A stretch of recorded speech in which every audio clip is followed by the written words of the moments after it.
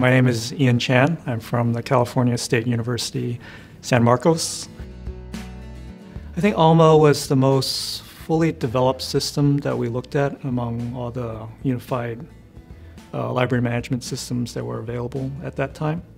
It was pretty clear to us that it had the most um, potential in terms of its architecture for future growth. We did not, for example, have a e-resources management system, so we desperately needed that. Um, and I think um, Alma was attractive because it offered integration between ERM and sort of the traditional ILS functionality.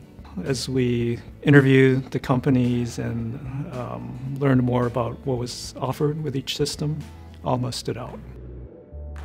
We have a number of benefits that we're um, getting from Alma and Primo. I think one major benefit is the integration of um, virtually all functional areas within one system. Another excellent benefit is the ability to utilize the Alma API for integration with external systems. We're seeing quite a bit more collaboration between various departments, and a lot of that has to do with the way workflows are structured through Alma. Our metadata group um, finds the publishing profiles um, to be something that's uh, very beneficial to them. Uh, there's another group in our library that's focusing on analytics, and they were excited to uh, delve into the Alma Analytics. One unique API that we've just completed a project on is integration between Alma's invoice or acquisitions API and the common financial system in PeopleSoft.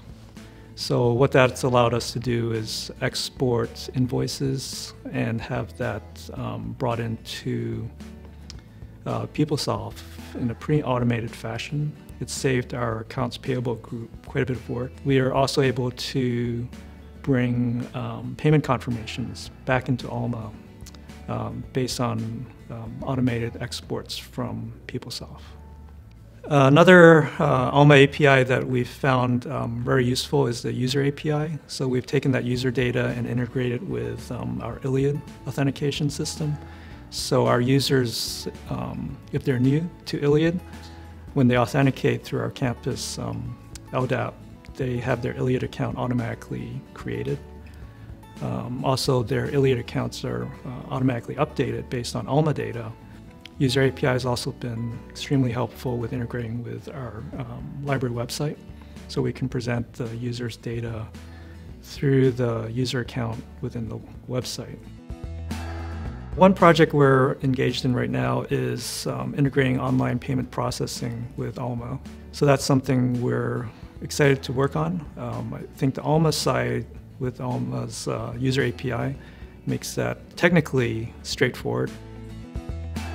Well, within the context of library technology, um, Alma's been very beneficial in terms of helping us to shift away from operational maintenance of, say, hardware or operating systems.